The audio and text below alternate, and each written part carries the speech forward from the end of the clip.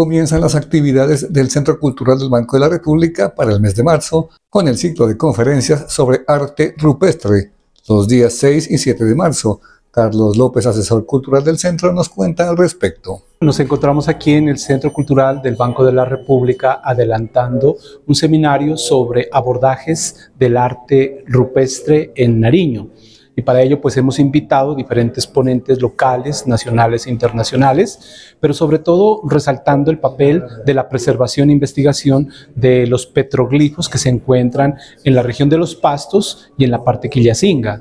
Es por ello que los queremos invitar el día de mañana, jueves 7 de marzo, a partir de las 9.30 de la mañana, con el registro y abordaje del arte rupestre en el sector de Genoy, pueblo Quillacinga, y también el sector de Sotomayor, pueblo Abad, por Tiepolo Fierro. Él es antropólogo de la Universidad Nacional Nariñense. Posteriormente vamos a tener a Diego Martínez Celis, él se encuentra a las 3 de la tarde para contarnos acerca de esos planes y manejos del petroglifo y del arte rupestre. Es una conferencia virtual, de manera que para que se conecten o nos pregunten el enlace para que puedan participar activamente.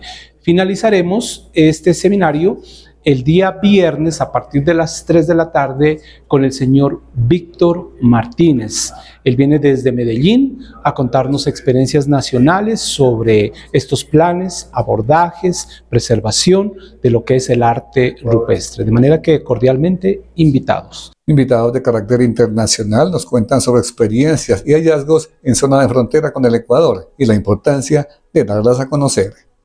Hemos hecho investigaciones pues en la Sierra Norte, ¿no? y seguimos, pues es un proceso que nos ha llevado años y seguimos en adelante. Tenemos la situación pues de nuestra cultura de los pastos, que es trascendente, se impone, tiene sus características especiales, entonces pues lo que determina espacio, tiempo, relaciones, interrelaciones, pues algo muy complejo, muy dinámico pues en cuanto a la iconografía y también pues a la estética a nivel de culturas que tenemos en Latinoamérica, ¿no? Hablemos del encuentro que tuvimos aquí en la ciudad de Paz y de Banco de la República. Sí, debo agradecer pues la, la invitación que la hizo pues eh, Carlos Guillermo López, pues un hombre dedicado a estas actividades. Y sobre este encuentro pues binacional que es para mí fue muy positivo porque nosotros entendemos aspiraciones que son comunes dentro del estudio, la investigación científica, tanto pues aquí en Colombia como en el Ecuador. Y asimismo necesitamos espacios de protección a través de la constitución, las leyes que existan de cada país y también la creación de políticas públicas para garantizar estas evidencias pues que confirman nuestra identidad en el contexto latinoamericano. ¿Hace falta más encuentros como este? Sí, yo pienso que sí, pues deberían ser encuentros que por lo general, tanto en Ecuador como aquí, o sea, pues aquí nos han dado oportunidades grandes y esto nos enriquece, nos fortalece nuestros conocimientos y nuestro emprendimiento de seguir adelante en la investigación invitar para que la gente asista a lo, que falta del seminario.